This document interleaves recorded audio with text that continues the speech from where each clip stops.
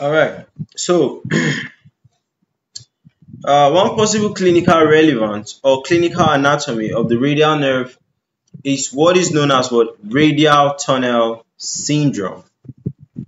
Radial tunnel syndrome. Now, radial tunnel syndrome syndrome is simply um, a situation where the radial nerve is trapped in the radial tunnel. Okay, and we'll talk about possible reasons why the radial nerve can become trapped or compressed.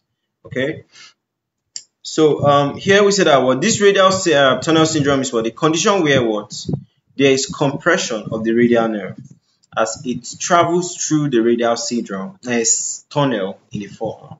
Okay, symptoms there will be pain, right? So typically there will be pain on the outside of the elbow, just like we have it here, right? Pain on the outside of the elbow. See this area labeled red. So there's pain there. And the pain will often worsen with activity. Okay. For weakness, so that over time the condition can lead to weakness in the forearm, making it difficult to grip or lift objects. Okay. Wrist drops. In severe cases, the patients may what experience wrist drop, which is what inability to lift the hand past a certain point. Okay. Causes uh, is mainly compression. So the radial nerve can be compressed due to repeated motions, overuse of the hand and all of that. Okay. Injury, which is basically trauma. Other factors like diabetes, thyroid disorders, presence of tumors or cysts can also increase the risk.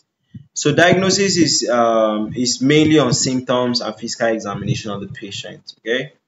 So probably you ask them to make some movements with their hands and all of that. You also palpate to see if the place is tender. If you want to further confirm, you might want to involve things like what? MRI or ultrasound. Okay. Those are the ones that are typically used for diagnosis of this condition, right? So that's if for what? Radial tunnel syndrome.